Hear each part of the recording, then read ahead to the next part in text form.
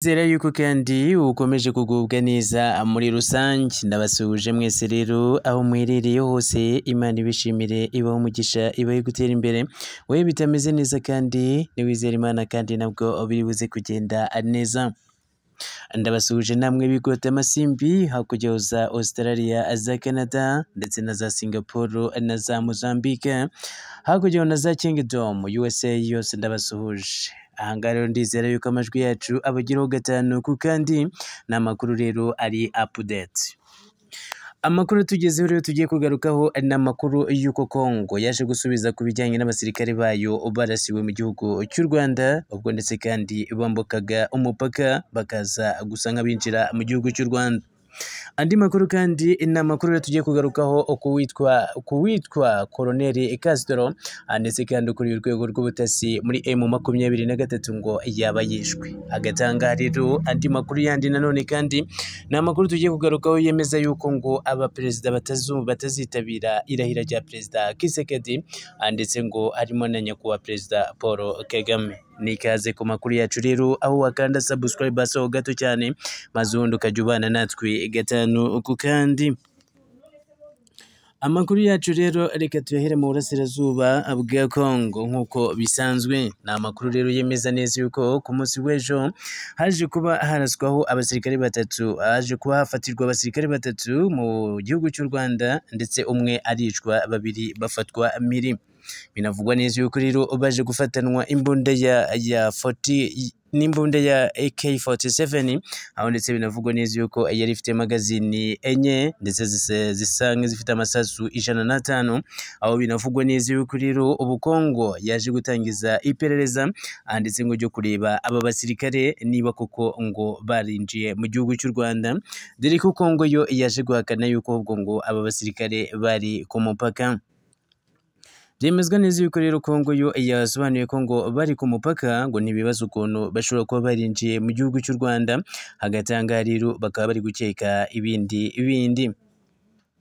Amakuru yandi rero ni amakuru kandi akomeje kwemeza neza yuko imirwano mu burasirazuba bwa Kongo ikomeje kugenda ijya mbere.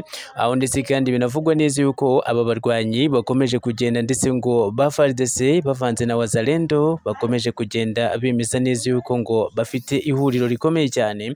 Ndetse ngo rizarwanya M makumyabiri na gatatu rikayivana mu burasirazuba bwa Kongo ngo dore ko kandi yaje yaje ibataka mu gihugu cyabo. Ndetse kandi mu buryo ngo budasanzwe. Amakuru akomeje kwemeza neza yuko kandi uwitwa ngo Colonel Castro ukuriye ubutasi muri M makumyabiri na gatatu ngo yishwe. Abegereye rero abegereye M makumyabiri na gatatu ibyo rero barabihakana.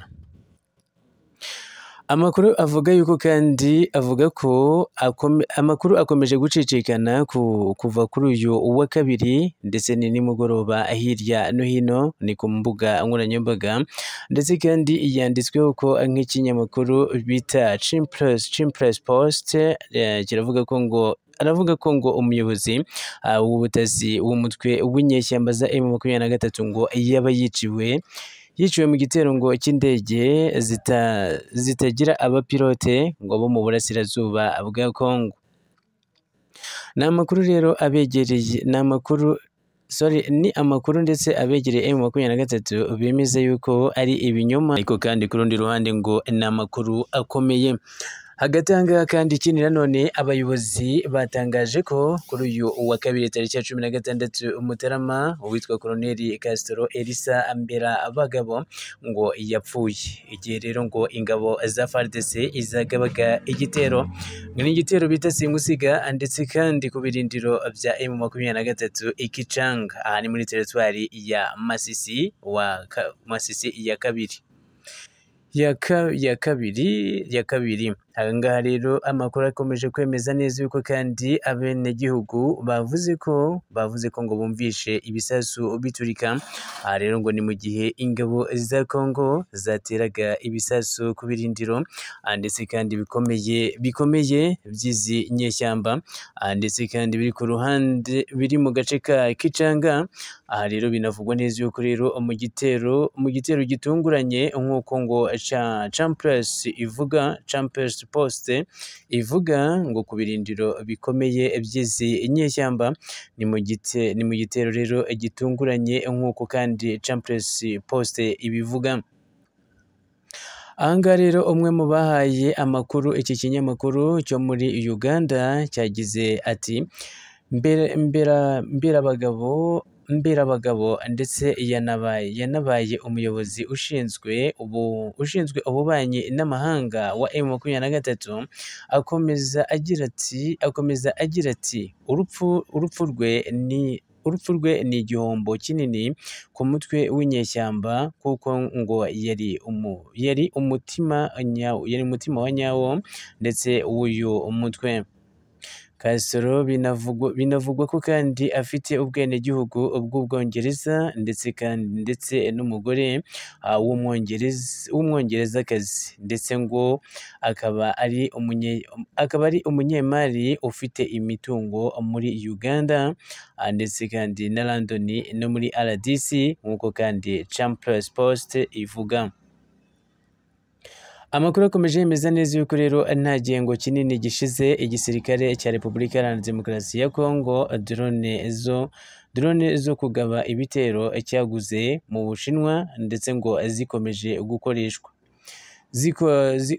Zikomeje gukoreshwa mu gitero ndetse ngo ku birindiro bya M makumyabiri na gatatu bitandukanye ariko ngo ahanini agasanga agasanga agasanga bihitana abaturage ndetse b'abasivili izi ndege rero zitangiye zitagira abapilote rero zikaba zikomeje kuba ikibazo ndetse gikomeye ku mutwe wa M makumyabiri na gatatu uvugwaho kuba ngo mu myaka imaze umaze ah, warano- warano- waranononsoye waranonosoye amayeri y'imir- y'imirwanire ya guve- ya ya guerilla sorry ngo ni igihe ngo umaze waranonosoye amayeri ya guerilla yakomeje gukoreshwa mu guku- mu gukubita inshuro ingabo za Congo. Ah, ndetse kandi n'abafatanyabikorwa bazo batandukanye ku nta- ku ntambara yo ku butaka. Hagati aha ngaha rero nababwira ngo ni amakuru azira impuha ni amakuru ari kuri bwiza doti komu aho ndetse kandi ugenda ukayareba neza cyane ukayanonosora aha ngaha rero bikomeza bivuga ko rero ngo nubwo havugwa ko nubwo havugwa urupfu rwa Colonel Castro ngo abegereye M makumyabiri na gatatu bo ku mbuga nkoranyambaga ndetse ngo bakoresha baremeza ko aya makuru ngo y'iyicwa rya Castro ngo ari ibinyoma ndetse kandi bakemeza ko ariho ngo kandi ameze neza. Hagati aha ngaha rero nakubwira ngo rero ni amakuru rero yakomeje kugenda acicikana ku mbuga nkoranyambaga ndetse kandi banavuga yuko ngo aya makuru ndetse ngo ari impuha ni mu gihe kandi byemezwa neza yuko kandi nyakubahwa perezida Paul Kagame na Museveni mu batazi mu batazitabira irahira ngo rya Kisekedi. Nyakubahwa perezida Paul Kagame w'u Rwanda na mugenzi we Yoweri Kagu- Yoweri Kaguta Museveni ndetse wa Uganda ni bari mu bakuru ngo b'ibihugu. Ah, bazitabira umuhango w'irahira rya perezida Felix Antoine Kisekedi wa Repubulika Iharanira Demokarasi ya Kongo ni ku wa gatandatu rero tariki ya makumyabiri Mutarama ni bwo kandi Kisekedi azarahirira kuyobora RDC aha ni muri manda ya kabiri y'imyaka itanu. Mu biro mu, birori ndetse biza, bizabera muri stade de Martirius de Marit, de Martius i Kinshasa. Ni nyuma rero yo gutangazwa nk'uko itsi nk'uko uwatsinze amatora yo kuwa makumyabiri ukuboza n'amajwi mirongo irindwi n'atatu.